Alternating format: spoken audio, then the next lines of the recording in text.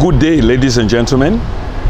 On behalf of the channel Then and Now, me now on host and presenter, Prince Emile Kroma. Today, we are about for do a great uh, presentation. We are about for talk to somebody of eminence, of stature, a stakeholder in our society. When we talk about the Coalition for National Election Watch, we talk about the executive director for campaign for good governance this person no need much introduction as she is already well known within the social political and economic circles both abroad and our country ladies and gentlemen i'm talking about mrs marcela samba sesay mrs marcela samba sesay welcome to the program then and now Thanks so much and thanks for having me. It's always a pleasure to speak on issues such as this. Thank you very much. Um, just to start with, I want to go straight to the point. I want to ask you what parameters, you know, a civil society can use for measure good governance. Oh, thank you very much. Um, civil society such as Campaign for Good Governance and National Elections Watch, I can say not to just the normal civil society. We, we don't establish beyond civil society. We're actually a think tank for Sierra Leone. Because a number of people they wonder how we're able to pull up issues around democratic principles and practices. And that is exactly what it is. For let democratic processes unfold you get for understand just like what you wetin are the parameters. Wetin are the basic guidelines and principle wey guide democratic processes. And one of such and in fact na the basis na the rule of law. So the legal framework wetin the law say wetin democracy say wetin are the prescription e just sound like when you get diagnosis and you na doctor. After you don diagnose the problem there are certain prescriptions you give. So you therefore understand first and foremost whose kind context we so like for we na campaign for good governance we wan for contribute for example to wetin we for do in what we call a post-conflict society. When you want for build democracy in a post-conflict society there are certain attributes. And within the attributes they go for watch are within the framework of the law. Certain thing and they will go happen na other societies. Other democracies. In fact senegal although na french speaking west africa dem just get the elections last week. But we yeri yen yen we no yeri nothing. No chamot i mean the sub-region there was no tension. Within that same period the nigeria gets the elections. Nigeria elections there were issues. They had logistical challenges. They for postponed elections. So basically the point wey they make is that various countries in in west africa they at varying points in their democratic transition. So for we na sierra leone after 2002 we are actually a post-conflict society. So you get for watch wetin are the ingredients for give and taste wetin exactly post-conflict society need. And political scientists dem believe say a society wey don comot am conflict wey dem don fet war e easy for slide back to war. And so it's a give and take situation. You pull small then you push small. You draw the political leaders then can say kale uka engage then you push small. Because many a times you get for remind them when you become too familiar they relax when you hit the encounter and say hey so wetin exactly una wan do for do? So that's the approach we are taking. So you get for understand the fundamental principles and then you get for guide the leadership for understand. Because in 1996 the organization when me when me dey head right now campaign for good governance na dey using that form am sierra leone experience military rule sierra leone don experience one party rule. In 1996 we want to try with democratic practices. Can we have an organization to help guide the process? That was why campaign for good governance was established. It was established as a watchdog institution for democracy. So that's exactly what we're doing. So are we actually portraying the tenets and practices of a democracy? Now some of the question and how they use to interrogate the process. So what do we do? We do research, we do civic education because one attribute of a good democracy na informed citizenry. Yep. You know, you find out say especially in the last elections, the 2018 elections, a lot of propaganda been dey go on. Some people even confused. They say we don't understand wetin really dey go on. But then informed citizenry, you go for give them the kind education wey they need for let them support democracy. Citizens then get for be empowered enough for all governments for account. For all governments to account, not to a negative principle. na a fundamental democratic practice Absolutely. if we send you for go do something because the citizens na dem get the power if na we say wetin uh, um, ginger kuso call the social contract e say at some point we need for hand over the power we left am in safe care of certain people dem then after a while dem for come back if we don give you something for hold for me you don hold am five years it is but fitting for come back and can tell where you manage am. Which exactly moves me to my next question, and I really appreciate that. But before I develop the next question, I just want to say thanks for the way you articulate exactly what most people don't come for know you for. Because um, you don't take time for explain exactly, let people understand where you are, where good governance is, and the rest of it. That's an explanation that most people, you know, here will tend to agree with. But you mentioned something about social contract. That would be between um, them and us, us and them, vis-a-vis either way. So when them bring and come back to the people, it bring about some kind of a change. Change of government, if you like. If I suppose say na the direction that they even go. So now there is a new um, government in town after they not express you know, yeah, then civic after people don't express their civic um, um, obligations. Yeah, sure. Okay. So I asked about the parameters, and you mentioned them. You know how they are being used. Now, as we speak, um, um, uh, Mrs. Um, Marcela Samba Sesay, how would you measure then, as opposed to now? Waiting have been the relationship then in terms of civil society work, and waiting in now. Well, as I mentioned earlier on, um, we we work as civil society. Nobody no get for disturbance. Change of government no get for disturbance. Nothing no get for change because it's the same framework that we work with. We look at political leadership. When I say leadership, it cuts across the board, not just the presidency but equally so how the executive they operate how the the parliament they operate and how the judiciary they operate can down to public servants and the civil service and all so all other they within the governance system and structure once you we understand the parameters with which we dey operate no political leadership no get for change change of government no dey affect the work wey campaign for good governance dey do. Because one we dey we we we vision. I mean always tell me team say we vision big pass we. The vision na for see a better sierra leone. Whose side we go live a people centered life. You know poverty quote unquote na a disgrace we, we, we, have been reduced to a begging nation Yep. and most people look at Sierra Leone, it's like a paradox. Because if even the South South we sit down, they do this interview, I tell you the value where we natural resources get. But it's also a governance question, how we don't manage them for like benefit the ordinary citizens. So we can always ask questions irrespective of who that in a power. Now, so campaign for good governance as an entity continue for be art- articulate as we will be during the APC regime, and we are also very much articulate during the, the SLPP regime. We want to see a Sierra Leonean government that is responsive to the needs of the people.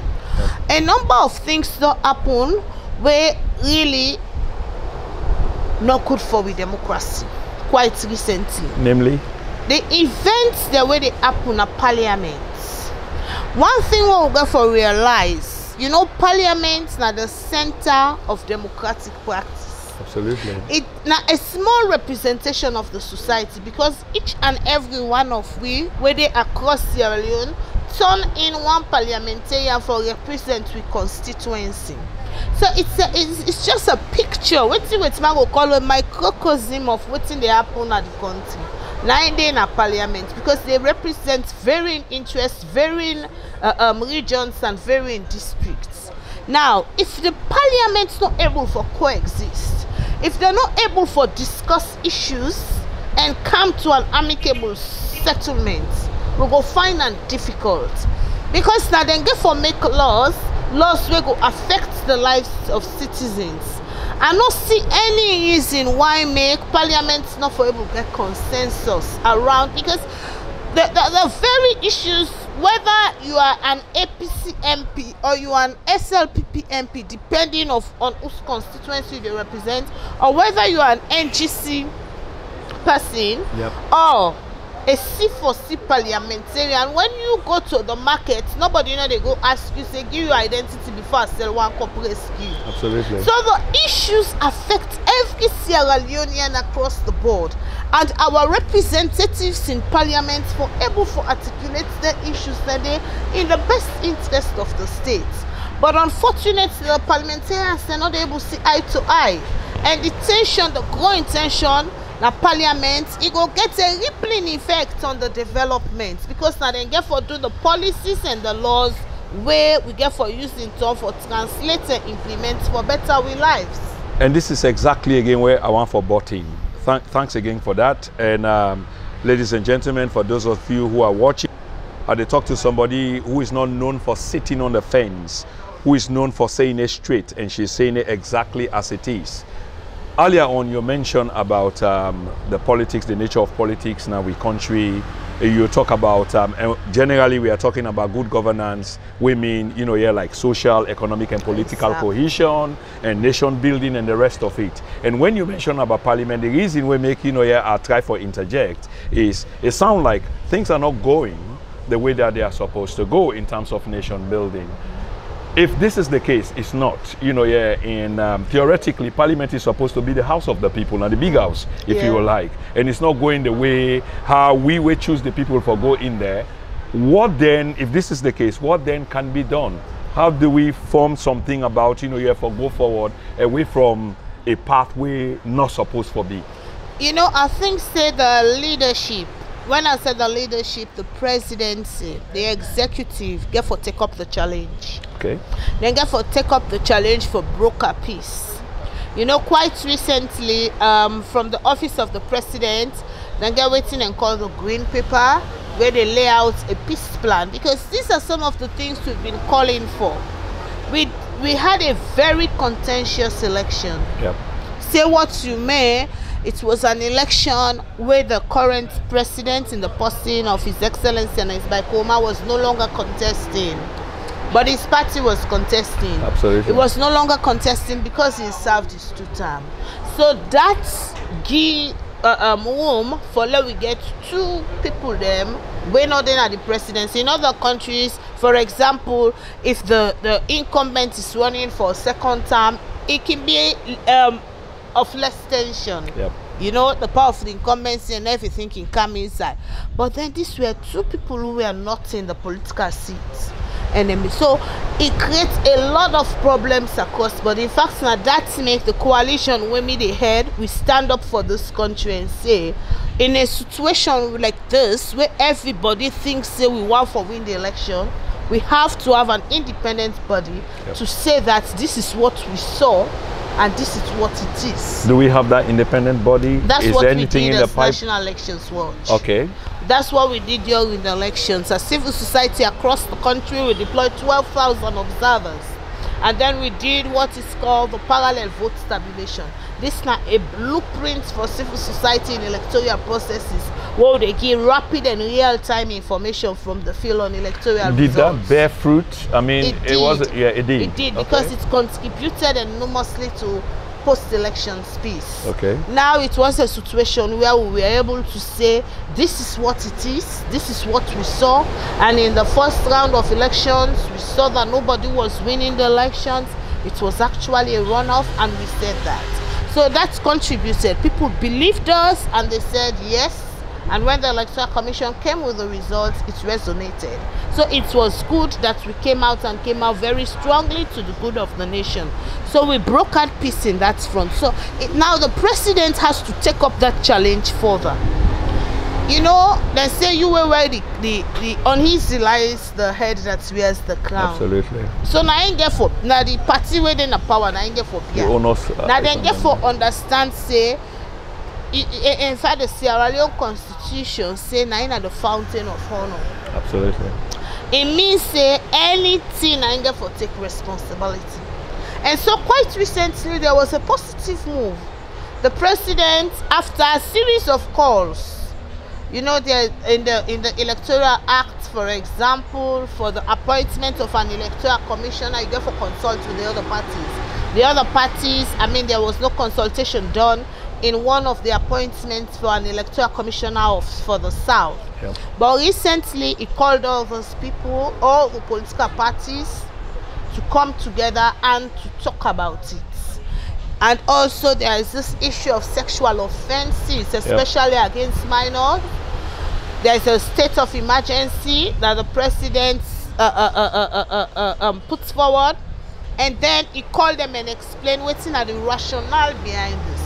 So the point is, if we wait and take this state of emergency go to parliament, from us women, we are so sick and tired of this issue of abuse of minors, rape Yeah, but of um, young Mrs. children. Mrs. Samba, on the basis of law, legally speaking, Mm-hmm. and of course you represent one arm where they try to make sure say things go right. Yes. When they go to parliament, um, even though the issue is a burning issue, but because of suspicions, we go back again to the That's basis the of point, yeah, exactly. not The other side, road. yes, the other side no agree. Exactly. The other side is seeing like say this instrument where they try for introduce. it's, pol- it's, it's, it's, politically yes, motivated. exactly. Yeah. Where does campaign for good governance stand on That issues is of this nature? So the whole issue is, even though we'll be having our opposing sides, because it's about the opposition, it will be about the ruling party versus the opposition now. Even though they sit at the opposition side, but I believe say each of them get a singular objective.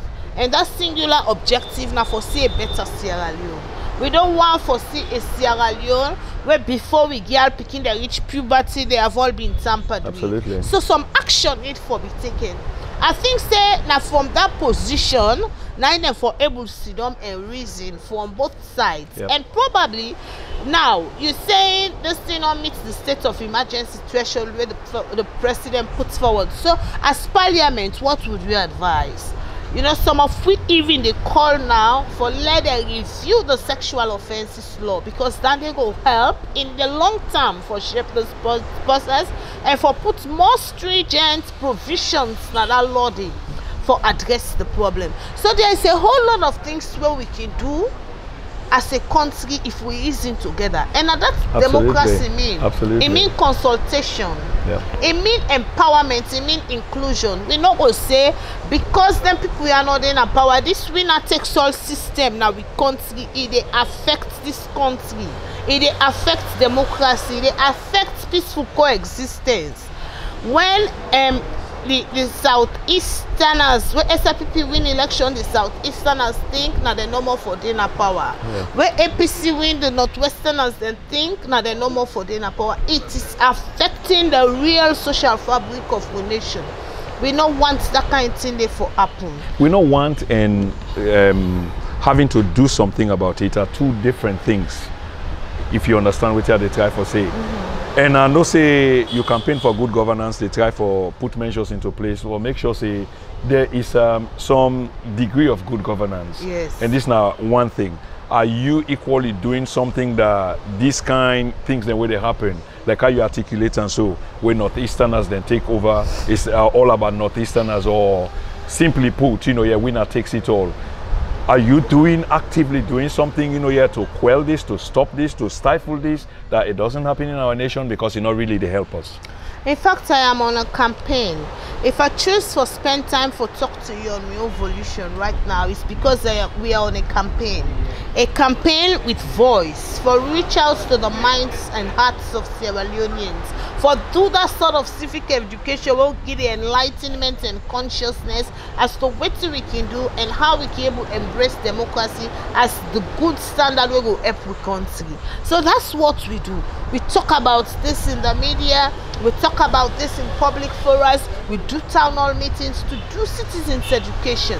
It takes time though but a lot of people don't get for understand that wetin we dey do so e stand for destroy we are suppose for to bring we uh, for bring we together.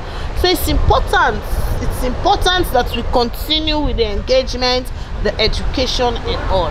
It's very very useful. I think say e go be good for let government see the need for consult a lot more.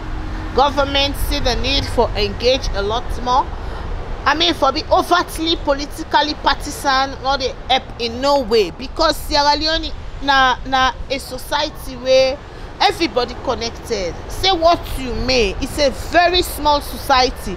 We are connected by intermarriages. We go to the same church. We worship in the same mosque. There is so much interlinkage. Not so a big society where gets 200 million people like nigeria or 10 million uh, uh, uh, people like other countries or 30 million like ghana. This is just 7 million people.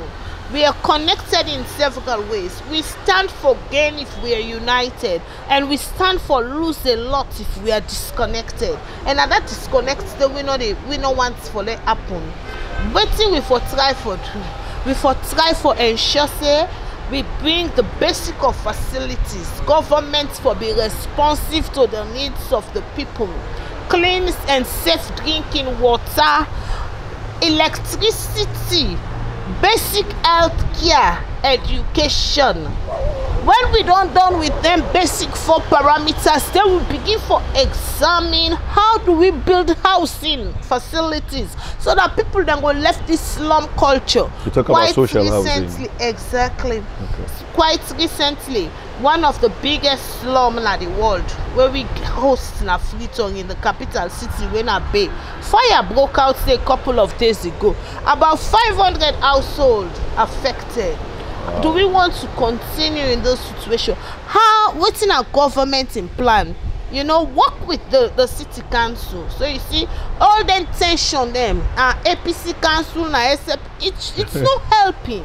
Yeah. how does central government work with the local council which is the freetown city council for put forward a plan government here in here out they have not paid at ten tion to that place because they say we no wan for displace them we no want for let we lost vote. We no wan for pull together then na abacha street we no wan for lost vote. If we continue in that overtly political lens we will not do anything. But what do we do? We sit with the people we consult with them we put forward a, a plan for them let them understand the plan. Let them see how much they could benefit from a healthy living and healthy lifestyle with that plan and let them buy into it and see how we can foster. We have to have a national transformation focus. Absolutely. wey not to one government dey carry with your three year activity. If we have an activity led government that doesn't bring development. It has to be a twenty-five year plan and we wan for work towards am other countries have done so. Yep. we cannot be going through this kind of stagnated development. It's very frustrating. Me know a lot of sierra leoneans from abroad wey want for relocate. But you know the basic living condition not able for day. and dem no wan for day in that kind society can we talk to our government? Can we talk to our leaders that it is not business as usual? It is a situation where they are coming to serve. Me go clap for any president. I go clap for any president publicly. Wey go open im doors to consultation and see how we can chart the way forward for for make sure say sierra leone be a better place. We get all what it takes for transforming the medium term Yeah. we have natural resources. Yep. we have a young and youthful population. Absolutely. we have women. In fact na that one na im na the most important. How do we integrate women folks into our processes and empower them so that dem go we dem go able for contribute meaningfully to development? How do we ensure women's political representation? Any leader wey wan for see im country better. Let's let, let's look at uh, uh, um, rwanda you know kigami might have his own issues of course every leader every does. leader yeah. gets im own Yeah. issue but rwanda went through a cycle similar to sierra leone they had i mean the level of violence in rwanda it, it was the consuming quality was unheard of the, the, the genocide e be really really worrying but wetin happen dem get this leadership wey think say we can make this country and e thinks say every person for involved it brought women in fact women are the highest in terms of representation in the parliament Quite and correct. other spaces. But that could be attributed You to know? the fact that many men lost their lives and the population na that as for men you see one thing about this patriarchy they would always give justification but there are men anyway. No, it's a good initiative, by it's the way. I was, I was just saying, that's uh, yeah. what we want to see. yeah. It's, it's the same kind of argument they give when you ask about women to sit on the table and discuss. Yep. By the way, tomorrow is International Women's Day, 8th of March, and I want to use this opportunity Absolutely, worldwide. we, we, we will come. We will come talk to that, to Marcela. I would, defi- I would definitely give you, you know, yeah, the chance, Yes. you know, yeah, to highlight it's that, you know, yeah, to the people. But let me move to something else, which um, you wanted to develop um, some different argument away from the International Women's Day, Yes. because you definitely will be giving chance, you know, to yeah, talk to talk about, about, that. yeah. So I want to talk about. I'm still talking about the the Rwanda issue. Okay. So people will still talk about, oh, where are the women, for example, to take up political leadership? They are there. Yep. They will say, oh, this woman cannot sit on the table because she's not educated. But men have been sitting around the table and they are uneducated. But it's about what the woman can bring to the space and Yeah. how to include that. That's the discussion. It's very important. What I'm saying is that if we try as best as possible as a country, you know, because leaders forget so easily. When they want power, they have all, they understand all the discussions, they understand all the rhetorics around good governance. But when they take power, they forget so easily, forgetting that it's just five years. Yep. Or if you are fortunate, you go for a second term Yep. and then after that that's it you come back to the society Yeah. you come back to the society where there is no water you come back to the society when the where the electricity is shaky you come back to the you come back to the society and you sit back Devoid of all the basic the amenities, you know, that could have been, yeah, for the people. so we don't want to be going through that vicious cycle Marcela, um, because of time constraint, let me move on to something else which most people think is um, actually controversial, and that's the issue of um, the Commission of Inquiry, to which you've spoken. Again, by virtue of your position and your in you being a stakeholder, um, you believe that the instruments, and write me if I'm wrong, please. You believe that the instruments or the way they went about the process was questionable, and I think you've spoken on national and international media as per the process, and even asked whether there's a possibility or whether it could be revisited, or probably you were speaking from the um, point of view in terms of um, national cohesion, which I believe is very important to you, nation building. So, would you, for the audience, please clarify what was your position on in terms of the instruments and the, you know, yeah, the follow up? So very br- briefly, this whole idea of a commission of inquiry stems from the fact um, that there were issues of um, corruption within the state, and this needs to be clarified. Um, issues around the Ebola and all of that, it needs to be clarified. I mean, so the point was that we have had a very challenging period. The elections had been very contentious. Any process that would bring further separation or dent into the national cohesion process was the problem. That was our premise. Now, how can this be done? We said that it needs to be done fairly, it needs to be done transparently, it needs to be done according to the prescription of the law. As long as it is done in a fair and transparent manner and communicated in a way that people will understand that the essence is to heal the country. Because say what you may, we do not want a process where leaders will come and then at the end of the day, nothing happens. It's Yeah. just a vicious cycle. Yeah. So it's good that we understand if there is rampant corruption in the state, where is it happening? Or did it happen at all? Or if it happened, where, for example, and what's the trends are, what the patterns are. So the Commission of Inquiry will be able to unfold all of this. And I think so far, the, the foreign judges have been doing a good job. They have made the space very open and transparent. That was exactly what we were calling for. Because it got to a point when it becomes so contentious, there were demonstrations, and we never wanted that. Yeah. But as it sits now, they don't tamper down a little bit. And people they go they go give the um, the investigation and they go on. People then they go on at the commission, they go testify, and people tend to be following the process with acceptance, which is good. Yeah. Okay. Um, so if we, if I do understand this well, the position of the campaign for good governance is just to ensure that everything go in accordance With with, the law. basically. Exactly. Yeah. So that people do not use legal processes to their own satisfaction. Absolutely. That you take you, you, you are happy for a particular law when it's in your favor. But when it's not in your favor, you are against it. No, that's not the way to fight corruption. That's not the way to handle the rule of law. The rule of law is the same at all times. All right, um, ladies and gentlemen, once again, um, I am speaking to um, the executive director for the campaign for good governance, Mrs. Marcela Samba Sesay, and um, we talk today in Freetown.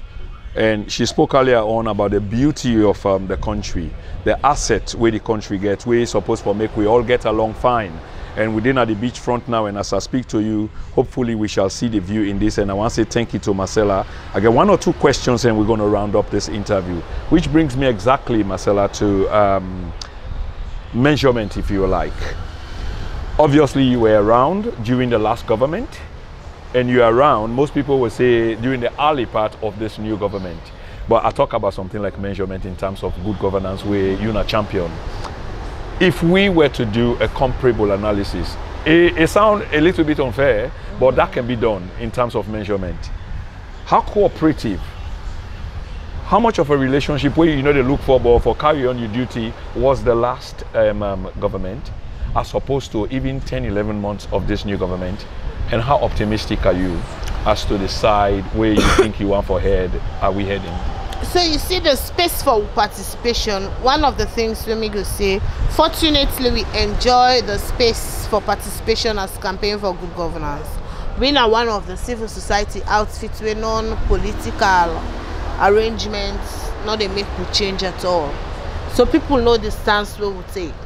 And nothing not preclude we for do we work. We they continue for do we work in the best interest of the country. I think say comparatively for say this government better pass this or that day, it too early for make them kind of prescription and day. And I not think say it's a it's even a good way for measure democracy because different leaders have their own style of arrangement.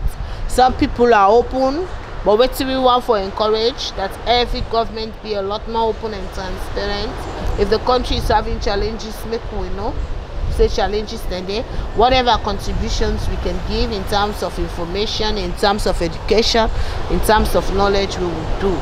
But not you know in there with space, we have the space to operate. And one thing where I want for say the challenge where this government for look at and therefore look at the decisions the way that they take. For example, this issue of the the um, NGO policy where they call the development cooperation framework where get the tendency for close the space. Although they don't create an opportunity for look at them and talk about them a lot more less some of them policy than they know they did. Because civil society contribution is very pertinent. What we need to do is to open the space more Yep. for more critical views and idea because now they empower government the the journalists are also calling to remove part five of uh, uh, um, where they talk about seditious libel for remove am from the 1965 public order act may not in our law books. Yeah, but the government All promised this- that they will be doing that. Did yes they? they made that Yeah. commitment Okay. but we no see yet. Okay. so i just say dem think dey yarn na Then e go need for- more um, freedom of expression freedom of association and citizens go able for participate. Two or three quick questions just before we land in one go. How optimistic are you in terms of the job we do? I mean, um, the results gain, yeah, how far we don't come, how far we are, how far we go. It come back to the same optimism. Um, secondly, um, waiting at your message for them one and we they in the diaspora because this message basically although the local or domestic audience get for consumer but it's mostly going to the one that within at the diaspora. What are your expectations you know yeah, in terms of participatory democracy for help in terms of um, your good governance initiative for the diasporans then? What can they do? And then finally marcela um, just before i hear the final questions congratulations again. Very strong woman and um, keep up the good work. But I will give you the chance for just flow in terms of um, International Day for the women. Okay, so my optimism is big because personally and as an organization, I run with the organization's vision. We optimism so big. We want to see, we get this vision of a dream Sierra Leone. And at that one day they keep we going every now and then. And we get this vision say we can make them. And we get a critical mass, a following you know e go amaze you for know say people dem can just call up say i stop by una office for tell una thank you for wetin una dey do e dey show say we get a critical mass of people wey support this vision in fact for let you can sef you able for trace me and say i need an interview with you for me audience dem out of sierra leone show say there are sierra leoneans also in the diaspora who are interested in this vision. Yep. You know, to see a better Sierra Leone. Now that day now in we own driving for, so we are optimistic we will get there. And we are happy for me say we are the part of a team where they contribute to this vision of the Sierra Leone we want to see. Yep. And also we want for see more women taking active part. Absolutely. We want to see more women in the boardroom. We want for see as we move into International Women's Day on 8th of March, we say balance for better. We want for see a better Sierra Leone, but this better Sierra Leone not for just go with male only faces. It has to go with women faces as well. Yeah, on the International Women's Day, ladies and gentlemen, um, again, um, Mrs. Marcela Samba Sesay, we just uh, wrap up this interview, and um, tomorrow is International um, Women's Day, and Marcela, as a very strong woman, a stakeholder, again, I emphasize, you the emphasis is mine but a strong woman been just to talk again about um, the International Day of the Women I mean they make a special appeal to um, the women both domestically, I mean here in Freetown, Sierra Leone and the world over. It's been a fantastic run and a fantastic interview, if you will like. Marcela, I want to use this opportunity again for say thank you so much and please continue for do your good work what you do. And I really appreciate it and I will convey this message to the rest of um, with Sierra Leonean and compatriots and with their sure. board and with international friends and partners. Okay. Thank you so much for the and interview. thank you for having me on your program. Yeah, thank you very much, my dear. Thanks. You're welcome. Yeah.